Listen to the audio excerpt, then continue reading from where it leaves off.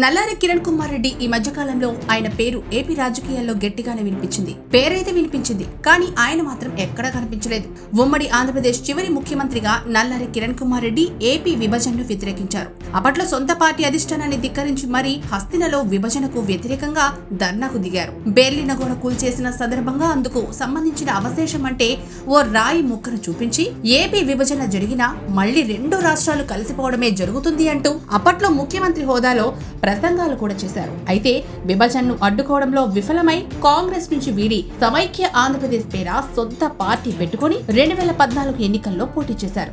ఘోర పరాజయం పాలయ్యారు. ఆ పార్టీ తరపున పోటీ చేసిన ఎవరు కూడా డిపాజిట్లు కూడా దక్కించుకోలేకపోయారు. ఇది పాత సంగతి. ఇక ప్రస్తుతానికి వస్తే రెండు వేల పద్నాలుగు ఎన్నికల పరాజయం తర్వాత నల్లారి కిరణ్ కుమార్ రెడ్డి ఏళ్ళ పాటు ఎవరికీ కనిపించకుండా వినిపించకుండా రాజకీయ అజ్ఞాతవాసం చేశారు. ఆ తర్వాత తన సమైక్య ఆంధ్ర పార్టీ గురించి ప్రస్తావించకుండా నల్లారి కిరణ్ కుమార్ రెడ్డి హస్తిన వెళ్ళి కాంగ్రెస్ హైకమాండ్ సమక్షంలో కాంగ్రెస్ కండువా కప్పేసుకున్నారు. ఇక రాజకీయంగా ఆయన క్రియాశీలం అవుతారని అప్పట్లో అంతా భావించారు. కానీ ఆయన మాత్రం అజ్ఞాతాన్ని వీడలేదు. తాజాగా ఇటీవల ఆయన కమలం గూటికి చేరారు. ఏపీలో కమలం పార్టీని బలోపేతం చేసే బాధ్యతలను బీజేపీ ఆయనకు అప్పగిస్తుందని అప్పట్లో అంతా భావించారు. కానీ ఇప్పటి వరకు అలాంటిది ఏమీ జరగలేదు. పోనీ నల్లారి కిరణ్ కుమార్ రెడ్డి అయినా బీజేపీ కార్యక్రమాల్లో ఏమైనా చురుగ్గా పాల్గొంటున్నారా అంటే అది కూడా లేదు.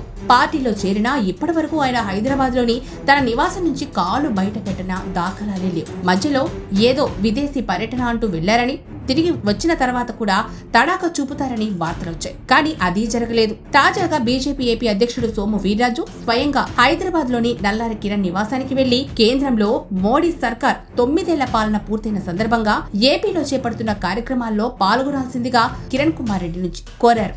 అయినా కిరణ్ కుమారుడి నుంచి అయితే ఎటువంటి స్పందన లేదని బీజేపీ వర్గాలే చెప్తున్నాయి. మొత్తం మీద డల్లారి కిరణ్ కుమార్ రెడ్డి ఏ పార్టీలో ఉన్నా ఆయన భాష మౌనమేనని ఆయన అజ్ఞాత వాసేనని సామాజిక మాధ్యమంలో సెటైర్లు పెళ్తున్నాయి ఇక మాజీ సీఎం కిరణ్ కుమార్ రెడ్డి బీజేపీలో చేరి అజ్ఞాతంలోకి వెళ్ళిపోయారు హఠాత్తుగా ఆయన సోమవీరాజు హైదరాబాద్ ఇంట్లో కలిసి మోదీ తొమ్మిదేళ్ళ పాలనపై విస్తృత ప్రచారం చేస్తున్నామని తమకు కూడా రావాలని ఆహ్వానించారు. అయితే కిరణ్ రెడ్డి మాత్రం హైకమాండ్ ఎలాంటి బాధ్యతలు ఇచ్చినా చేస్తానని రొటీన్ డైలాగ్ చెప్పి పంపేశారు. ఆయన ఉద్దేశం హైకమాండ్ తనకు అర్జెంటుగా ఏదో ఓ పదవి ప్రకటించడం.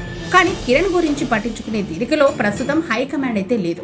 ఉమ్మడి రాష్ట్ర మాజీ సీఎం కిరణ్ కుమార్ రెడ్డి గతంలో సొంత పార్టీ పెట్టుకుని కొన్నాళ్ళ తర్వాత కాంగ్రెస్ పార్టీలో తిరిగి చేరినా ఆయన ఏ పని కూడా చేయలేదు. ఏ పదవి తీసుకోలేదు. ఆయన అంగీకరించుంటే ఏపీ పిసిసి చీఫ్ పోస్ట్ ఇచ్చి ఉండేవాళ్ళేమో. కానీ ఆయన తీసుకోలేదు. ఇటీవల బీజేపీలో చేరారు. ఆ తర్వాత కాంగ్రెస్ నాయకత్వంపై వ్యతిరేక వ్యాఖ్యలు చేశారు. అలా చేరిన తర్వాత ఆయన బయటైతే కనిపించలేదు. వ్యక్తిగత పర్యటన కోసం అమెరికా వెళ్ళిపోయారు ఆయన పార్టీలో చేరినప్పుడు కర్ణాటక ఎన్నికల్లో ఆయన పాత్ర దగ్గర నుంచి చాలా ప్రచారాలు జరిగాయి. కానీ జరిగింది మాత్రం శూన్యం. కర్ణాటకలో కాంగ్రెస్ విజయంతో దక్షిణాదిన బీజేపీ పరిస్థితి తిరగబడింది.